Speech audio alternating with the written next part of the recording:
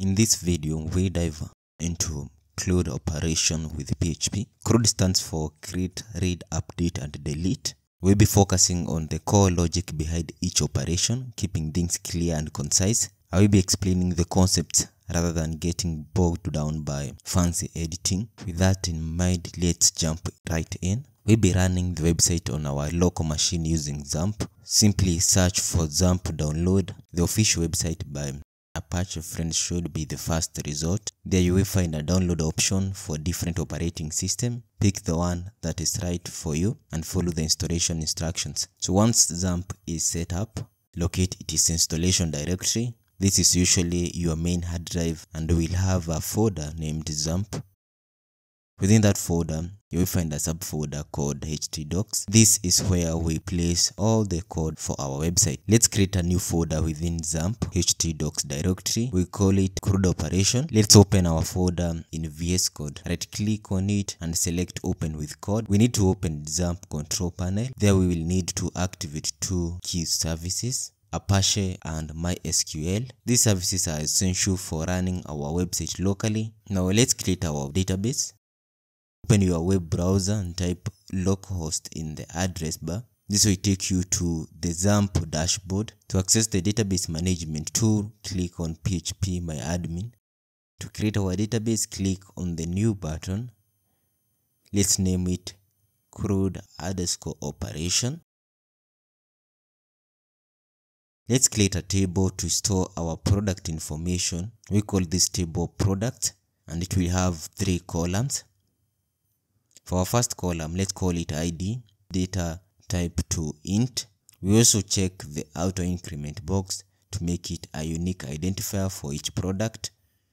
Then we are going to have a product name, which will store names of the products, and also a product image, which will store URLs for images. We use um, a variable character data type for both columns because it is suitable for text data. To manage storage efficiently, we set a maximum length of 50 characters for each column. With our database up and running, it is time to connect to it from our PHP code. We create a new file named dbconnect.php. This file will act as a bridge between our code and the database, handling the connection details. So PHP tags. By the way, if your file only has a PHP code and no HTML content, the closing tag is optional. So we are going to have a variable host, which is going to hold our host name, that is a localhost variable user, variable password, and DB, which is our database name, CRUD operation, con as an object that represents our database connection, host, user, password, and DB variables. And if the connection to the database failed, we'll echo an error message that includes the specific reason why the connection failed. With that done, let's create a file which will be our landing page to show the list of the products. I will name this file index.php. I will use exclamation mark to auto-generate the HTML skeleton. Also customize page title. To prioritize adding products first, we include a link on this page that leads to the add product page. This lets us populate the database with products before we get to the stage of displaying them on the website. We create a new PHP file called addproduct.php, customize page title to add product. Since we will allow users to upload product images as well, we'll need to include encoding type to multipart forward slash form data, which allows files to be uploaded to database. We need to have an input type text and a name product name which is required.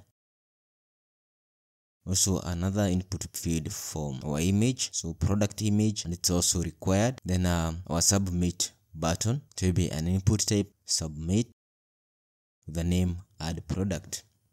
To access our form open your web browser and type localhost forward slash your folder name in our case CRUD operation this will take you to index.php page. You will see a link there that says add product. Clicking this link will lead you to add product page. We'll keep things simple and focus on PHP logic behind this form without worrying about uh, styling. We now add the PHP logic to make this form functional. Incorporate a db connect.php to establish the database connection in our code. This way we can access ObjectCon in our code. Check if add product is set. Remember add products will be set when the submit button is clicked. Then uh, retrieve the value of the form field product name from the post array and store it in the variable product name. Check if the file input field named product image exists in the files array, which indicates a file has been uploaded. We are going to retrieve the original name of the file and store it in a variable file name. Construct a destination path where the file will be stored on the server. That said, let's create a directory to house uploaded images. We are going to move the uploaded file from its temporary location to the destination path, which in our case is dest underscore path.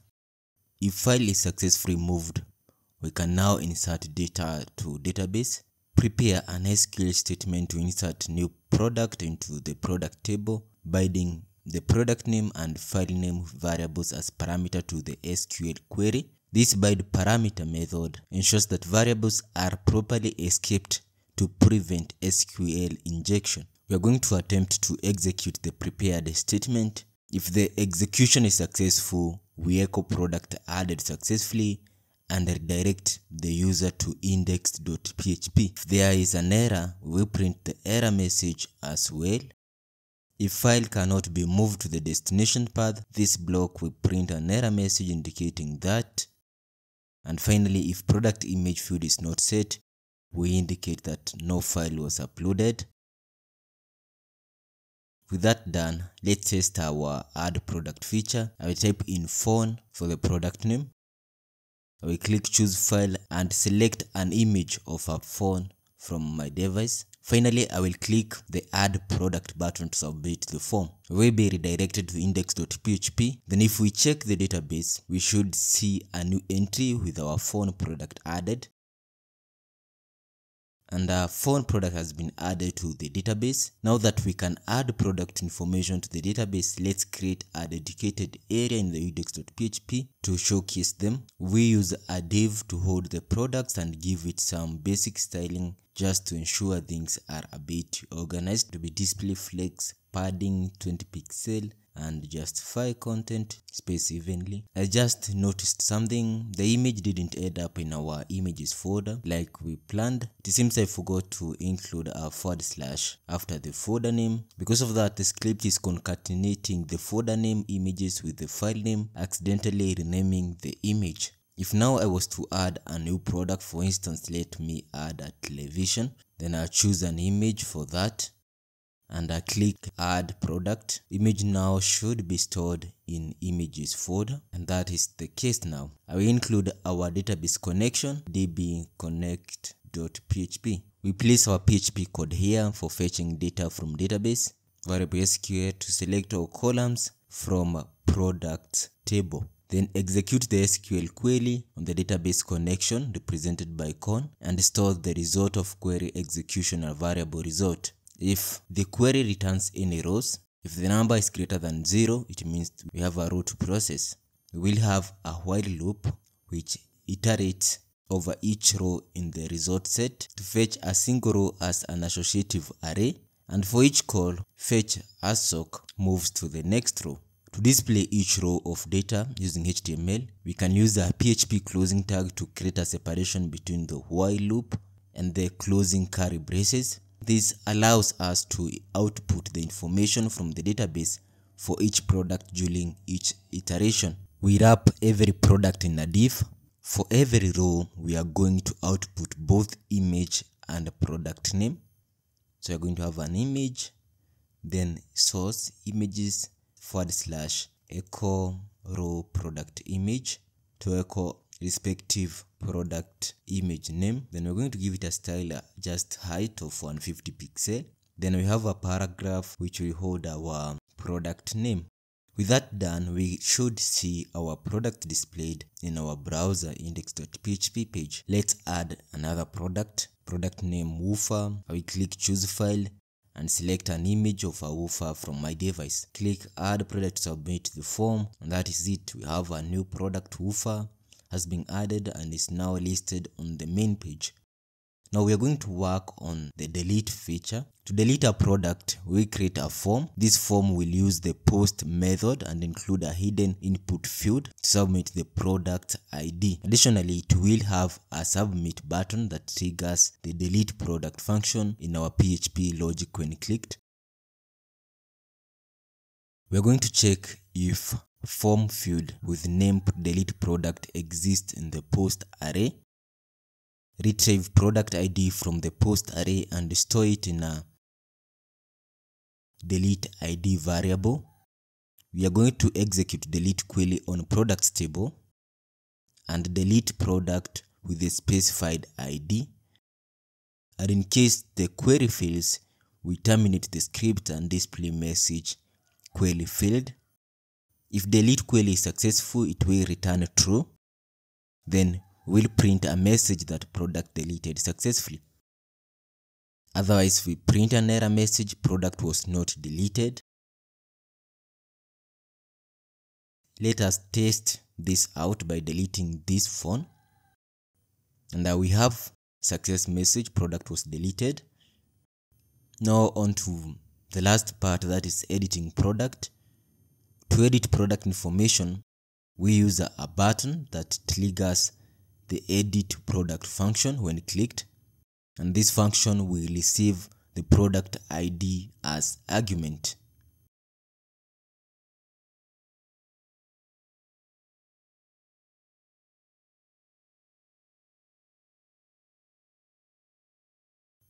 Function edit product with the argument product ID we redirect user to edit product.php page and pass a parameter product ID with the value stored in the variable product ID.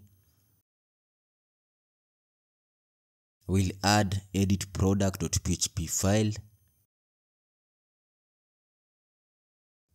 Now back on browser, if I was to click on edit product button, we are going to be redirected to edit product.php and if you take a closer look at the URL you will see the product ID embedded within it. The product ID plays a vital role in our editing logic.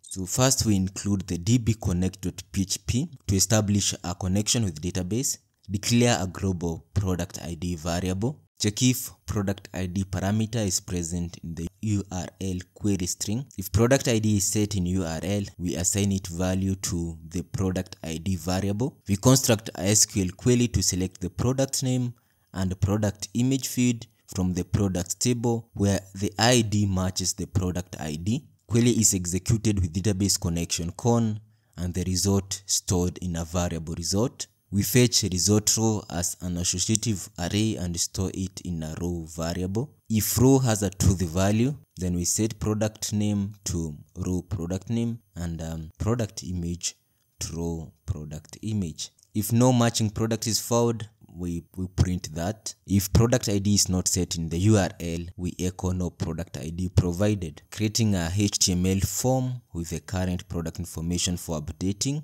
form action empty method post encoding type multipart form data so that we can be able to upload files. We are going to set value attribute to variable product name. This prefills the input field with the current product name.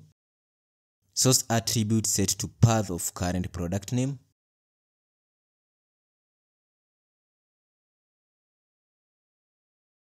And also our buttons input type submit value update product text displayed on the button then a name update product name attribute used to reference this button in the server side. Now clicking on the edit product button should take you to edit product.php where you will find a pre-filled form with the product's existing details ready for editing. We check if update form has been submitted by looking for update product key in post array product name assign it the value product name from our form then product image assign it the name of the uploaded file from the product image input field. Check if the product image field is not empty meaning a new file was selected for upload. We define the destination path where the uploaded file will be stored. Move the uploaded file from the temporary location to the destination path. If the file move is successful, we go ahead to update the database with both new product name and a product image for product with the specified ID. If file move fails, we echo the error. If no image is uploaded, we can update only the product name field for the product with the specified ID. We can execute the SQL query using the con database connection. If the query executes successfully, we output the success message, product updated successfully, and redirect to index.php. If query fails, we output the error message along with the error details. With that completed, we can now try updating a product. For example, let's update te this television. Simply change the name and append updated. Then click on update. Mm, that's good actually. It has updated. We can also update the image. Let's choose a phone image. And there you have it, the image is updated as well. Thanks for watching. If you found this informative, please give it a thumbs up and subscribe to this channel to support my work in helping you.